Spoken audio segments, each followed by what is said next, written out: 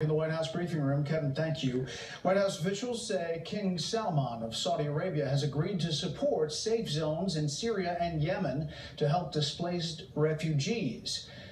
White House saying the agreement came during a phone call with President Trump Sunday. Officials say the Crown Prince of Abu Dhabi is also on board. The president invited the Saudi monarch to come to Washington. Iran has conducted an. And that's all you hear about that. That is a, a huge accomplishment, folks. He's going to set up safe zones over there, and they're going to these these countries are willing to help and make space.